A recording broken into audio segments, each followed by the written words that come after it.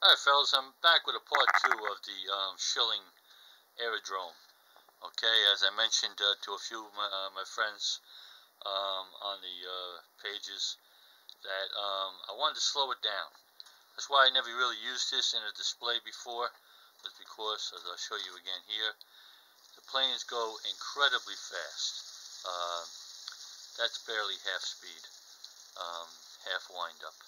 Okay, and um, you go full wind up, it just, it's ridiculously fast. And so, I was trying to come up with an idea how to slow them down.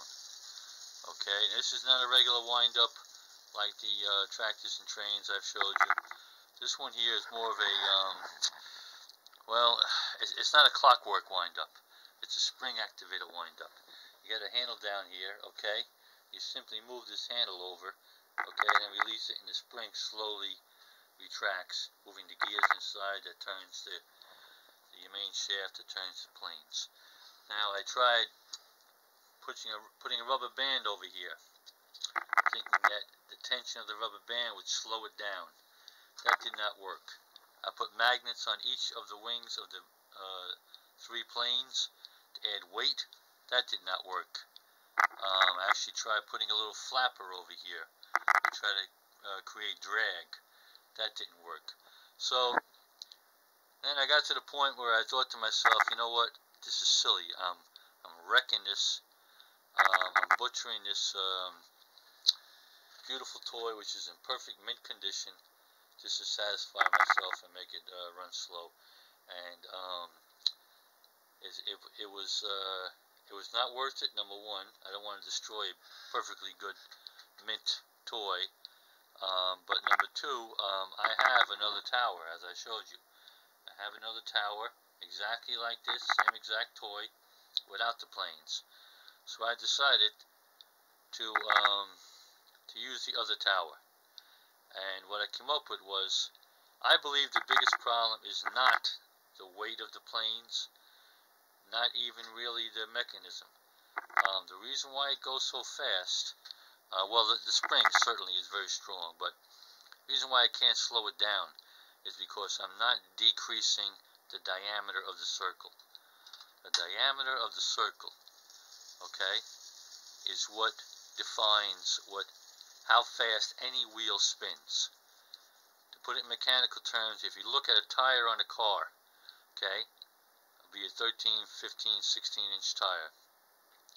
That tire does not when, when that tire turns, the bearing in the center of that tire turns many, many more times than the tire because it's smaller. The bigger the diameter, the less revolutions it makes. So I got thinking about that simple mechanical thing, which, um, you know, being a retired mechanic, that's what came to my mind. And with the tractors, I know that the bigger tires, obviously, uh, make less revolutions to cover um, the same amount of um, distance. So with that simple mechanical formula in mind, I took a couple of little toys I had. I had these couple of gondolas here from an old toy that was broken. And uh, I save all my broken toys. and um, what I did was I took a regular wooden dowel. And I attached the two gondolas. And that is about 20 inches. Okay? 20 inches from one gondola to the other. It's quite a it's, it's quite a spread. Plus the fact the gondolas are all metal and they're not very lightweight. They are not at all. They're, they're, they're quite heavy uh, for something that small and uh, and the dowel itself adds weight.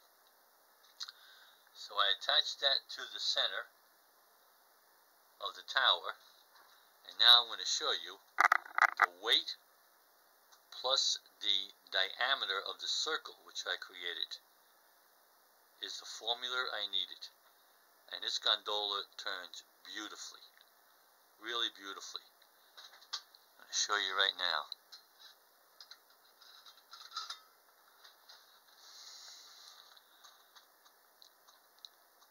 How nice and slow that turns. That's realistic. It's a beautiful slow turn.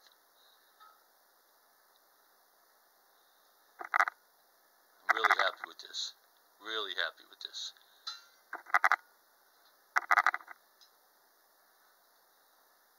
And I think because of the weight, it actually gets more turns. So, there's my solution to the um, the speed of this mechanical mechanism, which is simply a big spring in there connected to three gears. And um, so now I'm going to be putting this gondola uh, right smack in the middle of Farmallville, and uh, it's going to be a fe feature attraction, so to speak. Okay.